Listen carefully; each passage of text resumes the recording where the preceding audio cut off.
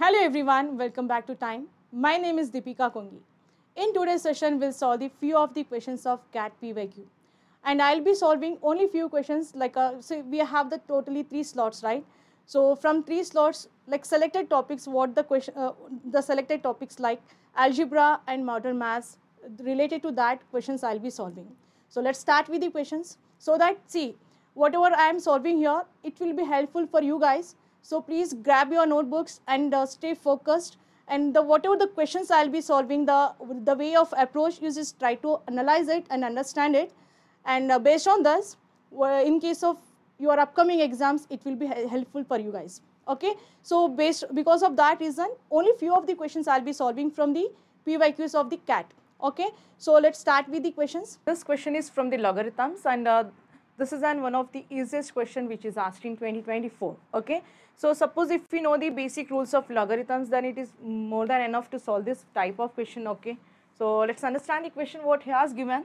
If x is a, x is a positive real number such that some logarithm expression is given and then the greatest integer which is not exceeding x is the question mark, okay.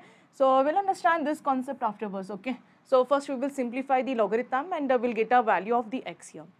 Now when we understand the logarithm, right, first analyze the question here. In case of logarithm, if uh, in between we were having the plus sign in the sense the base should be same, am I right? So in case of this question, here the base is given 10 and it is 100 and it is 1000. So base is not common.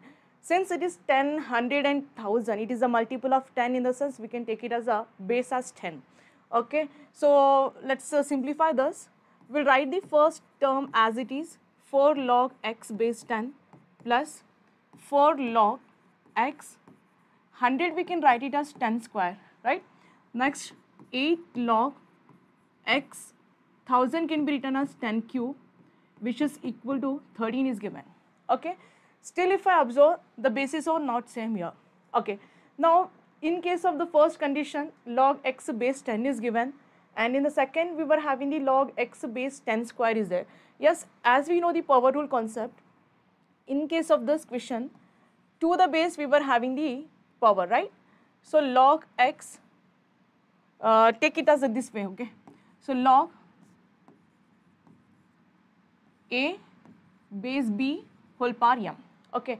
So now in case of this log a to the base b and to the base b we were having the power. Okay you might be aware about this. When we have a power to the base it will get multiplied.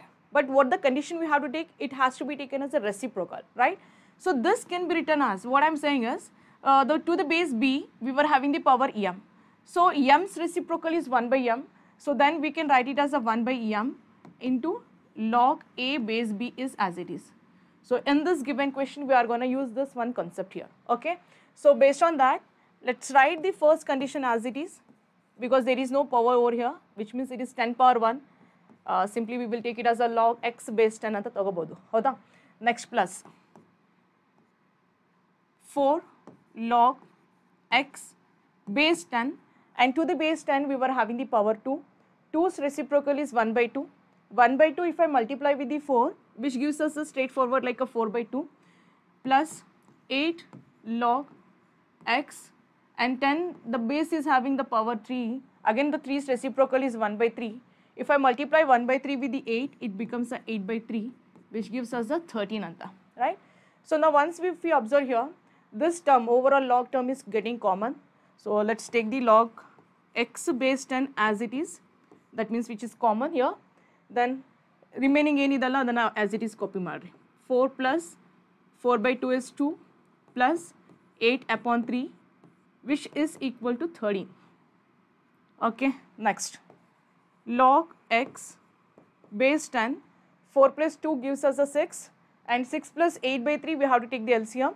So 6 plus 8 upon 3, LCM is 3, 3 6 are 18, 18 plus 8 gives us 26 which is equal to 13, right? And remember this, it is entirely the separate term here.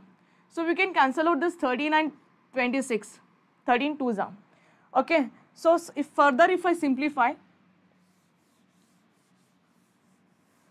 what we have left with this equation is log x base 10 into 2 upon 3 which is equal to 1 okay now if you want if you further if you want to simplify further you can simplify this way. Uh, take the log term one side which is log x base 10 and it is 3 by 2 okay as we know the logarithms rule convert this logarithm to the indices format because we want to find the value of x here. So to the base 10 the power is 3 by 2 then the result will be what? x here. Still this is not, not the final answer because what the question is saying we need to find the greatest integer which is not exceeding the x. Okay? Now 10 power 3 by 2 we are getting. Now if I use the calculators also you may get the approximate values here. Fine. We will simplify this further. So since if I separate the 3 by 2 as a 3 into 1 by 2 1 by 2 is a root right? Like uh, 1 by 2 is we can take it as a root. So it is just simply root over 10 cube which is nothing but root over 1000 am I right? So root over 1000 in the sense it is a see uh, 30 square is 900 in the sense 31 square you may take nearer it is a 396 961 so this 961 is very much nearer to 1000 but in case of this question is asking greatest integer which is not exceeding. See this 1000 is root over 1000 is approximately we will get the 31 point something okay this 31 point uh, it may be 5 or 6 uh, okay approximately we'll take it as a 31.6 as the question is the greatest integer of that which is not exceeding the x since he is asking us to find the greatest integer right? So in case of this question we can take the greatest integer as 31 so this is the final answer for this question. I hope it is clear